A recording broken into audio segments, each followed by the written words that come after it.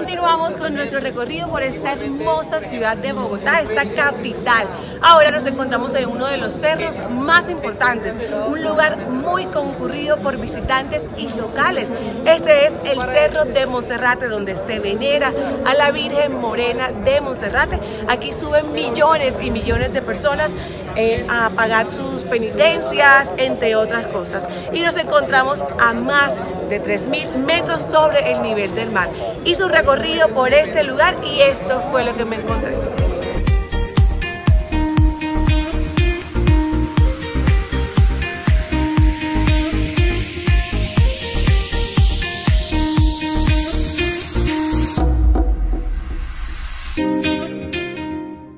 Al levantar la mirada desde cualquier punto de la ciudad, es imposible no toparse con aquel cerro que desde sus 3.152 metros a nivel del mar vigila a Bogotá.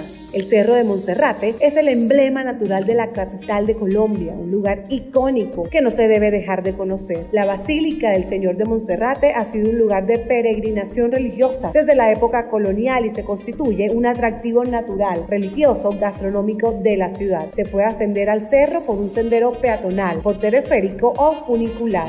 Este cerro está ubicado al oriente del distrito de la capital.